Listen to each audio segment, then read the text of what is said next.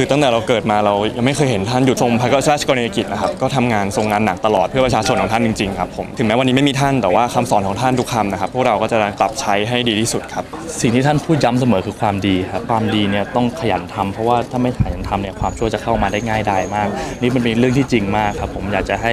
ทุกคนเชื่อในความดีเพราะว่าพระองค์ท่านคือนามธรรมของความดีครับ ประตูนจะคิดเสมอเรื่องการพัฒนาตัวเองครับผมก็ท่านท่านทรงตรัดไว้ว่าเราไม่ควรหยุดพัฒนาตัวเองเลยแม้แต่ขนาดเดียว ในเมื่อเราแบบมีโอกาสแล้วเราก็ควรพัฒนาตัวเอง และถ้าเราพัฒนาตัวเองได้เราก็สามารถกลับไปช่วยเหลือคนอื่นได้เหมือนกัน ผมชอบคติหนึ่งที่ท่านบอกว่าเวลาเล่นอะไรกับเด็กอะครับให้ยอมแพ้เด็กไปเถอะผมรู้สึกว่าเนี่ยมันเป็นความใส่ใจใส่ใจของพระองค์ท่านมากครับผมรู้สึกว่าพระองค์ท่านใส่ใจถึงอนาคตของชาติ แล้วก็